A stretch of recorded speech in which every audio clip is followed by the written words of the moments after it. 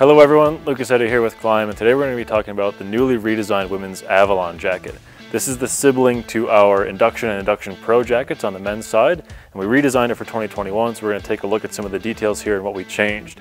The overall concept is still the same. It's a super burly, super durable, hot weather mesh jacket for touring, street riding, whatever you want to do when you want to have the most amount of airflow possible in the hottest conditions.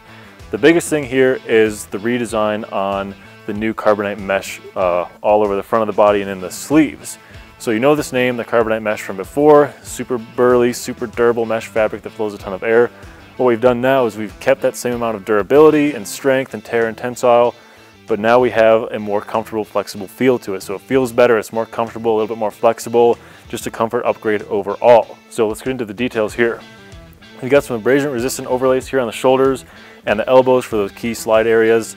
Underneath those, we have D3O CE Level 1 armor in the elbows and the shoulders and the back pad. Then more about the fabrics here, we have this 1000 denier Karbonite micro mesh stretch material here in the upper arms here and in the sides of the body and in the back of the shoulders for more flexibility. Okay, and then we also have, in terms of comfort, these adjustment features here with the forearm strap and the adjustable sides. And the other thing that we have with comfort is the new low profile collar. Before we used to have kind of a taller collar. In this hot weather conditions, we don't really need such a tall collar to protect from the wind, so we've tapered that collar in to give you a more comfortable feel.